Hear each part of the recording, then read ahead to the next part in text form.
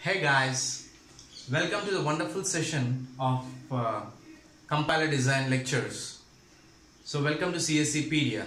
So today we're going to discuss about tokens, patterns, lexemes. Okay. So previously we discussed in the previous class or previous lecture we discussed about the role of a lexical analyzer.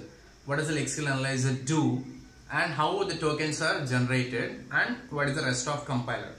So we should know, we should be clear of some basic concepts here. The first one is token, second one is patterns and third one is lexemes. These three are the most important uh, concepts here. So uh, coming to the first one, tokens. So what is a token here? Describes the class or category of an input string. So I have an input string. What is that input string? What is the category of that input string? So that is token. For example, if I say int a comma b comma c. So it's a category int token. So for int, what is token? Uh, for uh, a, what is token? For b, what is token? Int a comma b. For comma, what is token? So it describes the class or category of an input string. Okay, so that is token. So coming to patterns, set of rules that describe the token. So there should be some rules, right? So in order to describe a token, we'll define some rules. So that is called patterns. And out of these three, the most important one is lexemes. Lexemes is sequence of characters in the source program that are matched with pattern of the token. So it should match with the pattern of the token. If you see the lexeme, it covers the two concepts pattern, token. Okay. So what is lexeme here? Sequence of characters in the source program that are matched with the pattern of the token. So let's take an example here and see what are the different lexemes here.